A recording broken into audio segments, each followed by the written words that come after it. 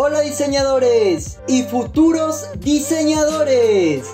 El día de hoy aprenderemos a realizar de forma muy fácil el efecto glom o como otros lo conocen el efecto brillo en Photoshop.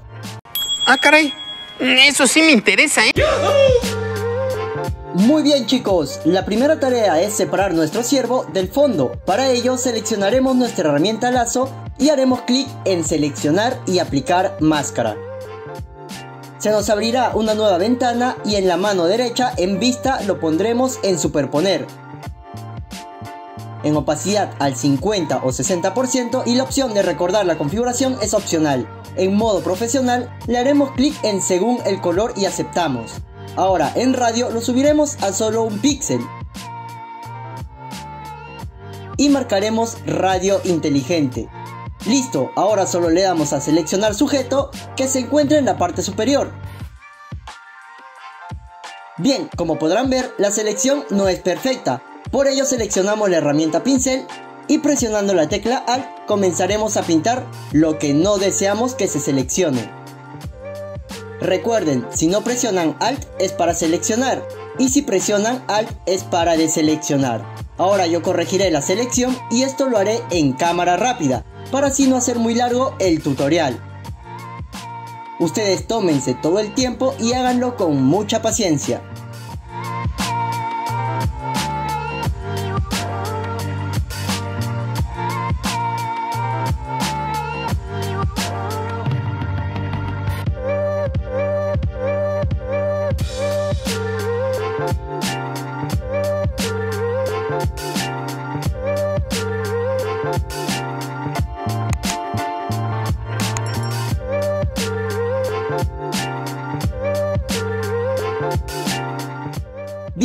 Seleccionaré la herramienta perfeccionar bordes y comenzaremos a pasarlo por todo el borde de nuestro ciervo, menos los cuernos. Ojo, menos los cuernos.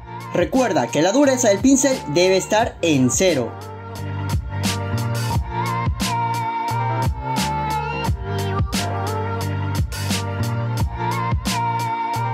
Bien, como podrán ver, logramos seleccionar nuestro ciervo, no de forma perfecta, pero sí lo necesario.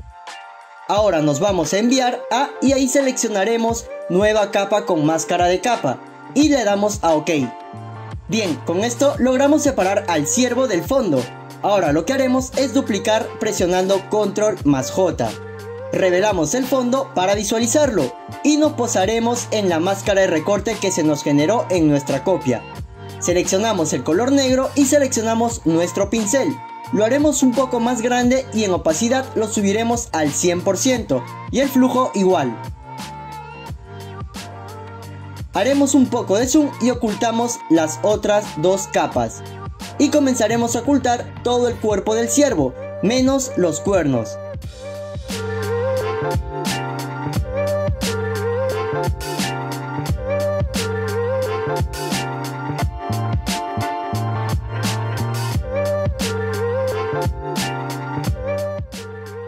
Perfecto, ahora lo que haremos es convertirlo en objeto inteligente.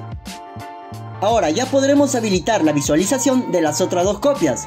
Lo siguiente es duplicar la capa de nuestro cuerno y agruparlo. Yo le pondré el nombre de efecto glom. Ahora la copia lo pondremos en modo trama y a continuación le aplicaremos una capa de ajustes de tono y saturación. Si yo muevo uno de estos tensores, como podrán ver, el cambio de color es muy drástico. Por ello, en la parte inferior habilitaremos colorear. Gracias a esto, podremos mover los tensores buscando el color que deseamos aplicar como efecto. Dicho esto, pondremos como una máscara de recorte para que esto solo se aplique a los cuernos. Si deseas modificar el color, solo debes mover los tensores.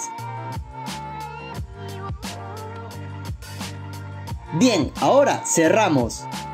Recuerden que esta capa debe estar por encima de la carpeta.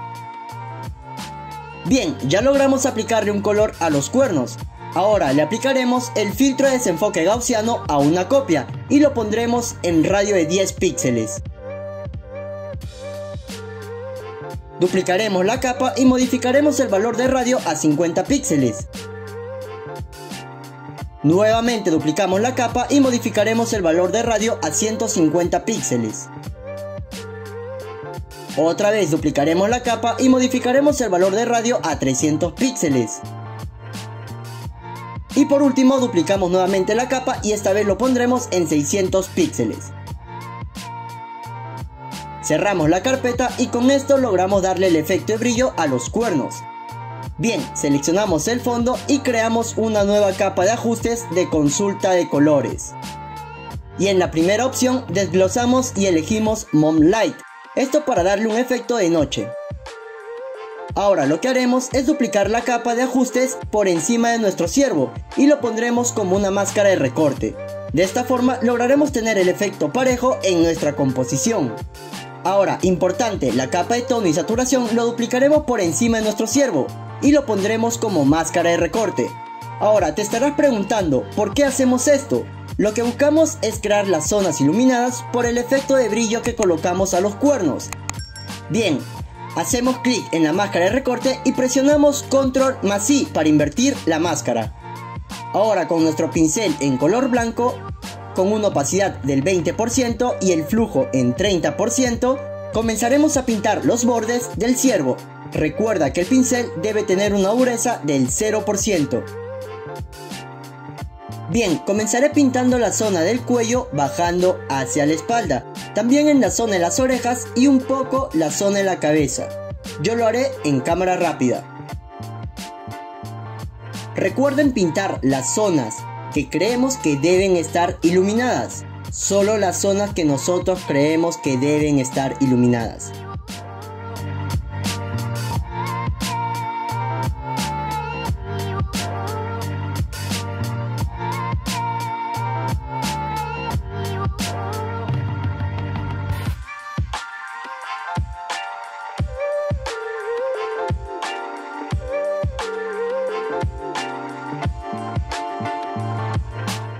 Desean eliminar o ocultar algunas zonas que por error pintaron, solo cambian el color blanco por el color negro y comienzan a pintar dicha zona.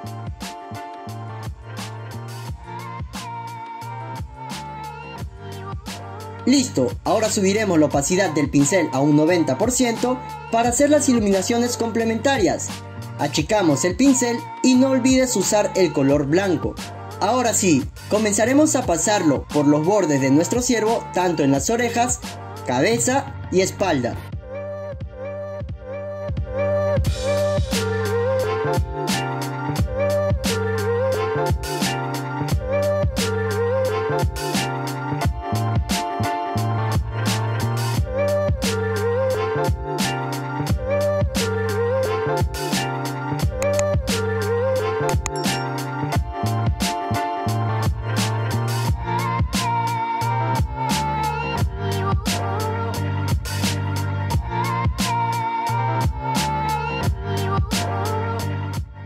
Yo le haré una iluminación en la zona de los ojos como pequeño efecto adicional.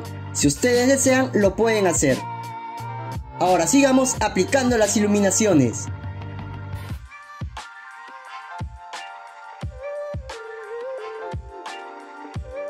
Listo, así es como va quedando nuestro ciervo. Ya tenemos ciertas zonas iluminadas. Ahora le aplicaremos un poquito de color al cuerpo. Bajaremos la opacidad al 20% agrandando un poco el pincel con una dureza del 0% y comenzaremos a pintar suavemente el cuerpo de nuestro ciervo, sin exagerar.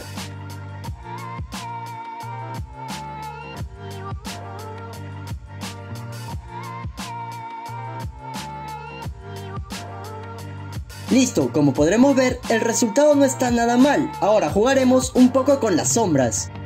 Para ello crearemos una capa de ajustes de exposición y en corrección de gama le pondremos en 0.80. Ahora en exposición le bajaremos a 0.40. Como pueden ver ya las sombras o zonas oscuras lograron tomar un poco más de color y cerramos. Nuevamente volvemos a crear una capa de exposición y en gama lo pondremos a 0.80 y en exposición 1.50 y cerramos. Con esto tendremos las iluminaciones y sombras que generan esos hermosos cuernos que ella te puso. Nada chicos, es una broma, broma. Ahora crearemos el pincel de partículas para darle un hermoso efecto a esos cuernos. Para ello crearemos una nueva capa. Seleccionamos la herramienta pincel y copiaremos el color como muestra del cuerno. Nos vamos a las propiedades del pincel y activaremos dispersión. En dispersión subiremos todo. En cantidad lo dejamos en 1 y en variación lo subiremos al 100%. Ahora activamos dinámica de forma y en variación lo subimos todo y en diámetro solo usaremos el 10%. Y cerramos. Bien, ahora bajaremos el tamaño del pincel según su gusto. Pondremos la opacidad al 100% y el flujo lo subiremos al 70%. Nos ubicamos en uno de los cuernos y comenzaremos a pintar o trazar en forma de ondas.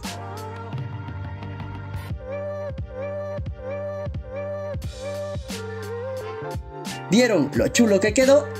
Y ahora esto lo pondremos en modo trama. Ya estamos por culminar el efecto y ahora creamos una nueva capa. Con nuestro pincel en el mismo color cambiaremos a un pincel por defecto. Haremos mucho más grande nuestro pincel con una dureza del 0%. Haremos un solo clic entre los cuernos. Luego le bajaremos la opacidad al 15% y la capa lo pondremos en modo luz intensa, dándonos como resultado este pequeño aura. Ahora seleccionamos todas las capas y lo agrupamos. Luego presionamos Control más Alt más Shift más E para crear una copia de todas las composiciones en una sola capa y lo convertimos en objeto inteligente. Nos vamos a filtro y aquí seleccionaremos filtro de cámara RAW.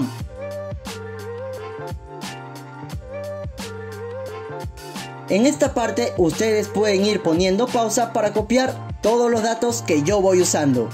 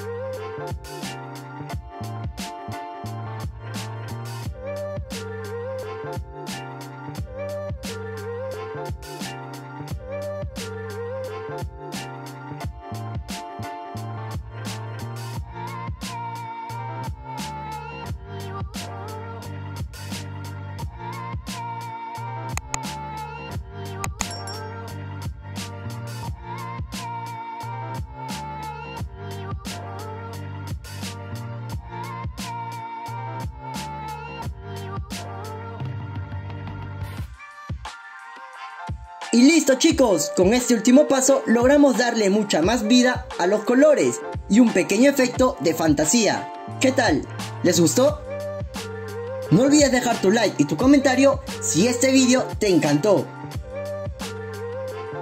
Y para finalizar, los invito a suscribirse al canal donde estaré subiendo contenido sobre diseño gráfico.